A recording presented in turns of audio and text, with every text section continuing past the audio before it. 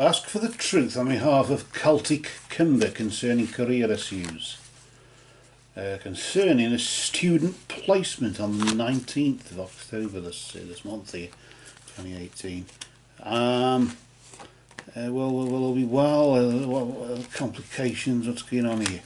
Um, uh, we just asked for a bit of insight and guidance uh, concerning this issue. In the name of truth, right conduct, peace, love, and non-violence.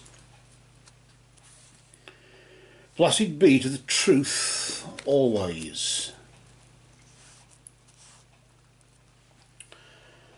And we just cut the deck and uh, just place it to the side here. We'll deal out three cards. The first card is in the possession of the recent past. This is a period of time between now and this time last month, about past three or four weeks or so.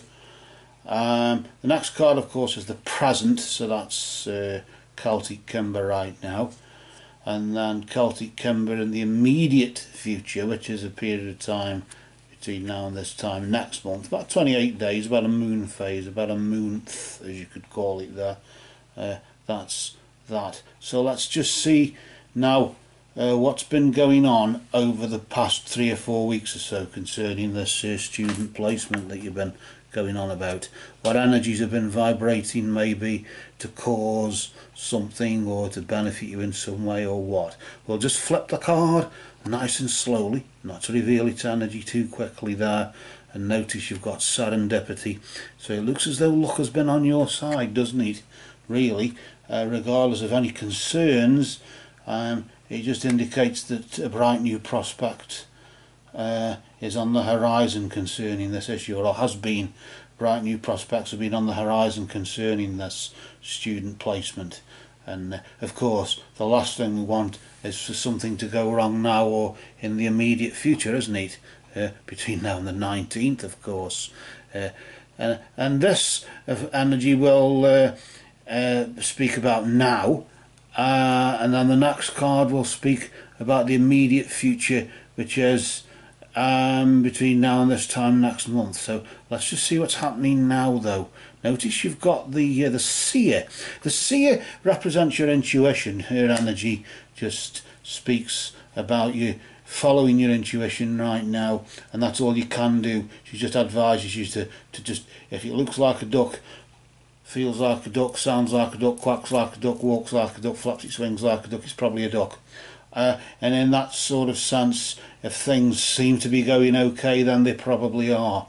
If things aren't, and you can see a way around this, then use your intuition to work a way around this up to the 19th.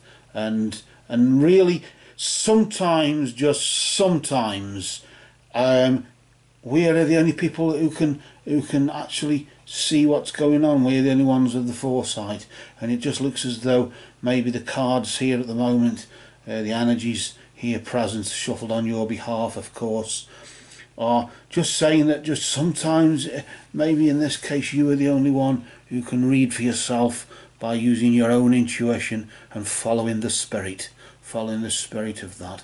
But fulfillment and rejuvenation in the immediate future does sort of indicate maybe fulfillment of the serendip serendipity with the chalice from the treasury there just indicating a womb of the goddess isn't it?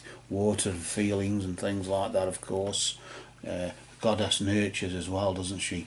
But in this particular case the serendipity manifesting itself as fulfillment so it looks as though really you've got not much to worry about just follow your intuition that's all you can do and uh, sometimes, as we said, just sometimes, maybe readings uh, are more suitable for you to do than for us. But nevertheless, it's nice to just have clarification. It's nice to know that the cards do speak the truth. And the truth has now been spoken.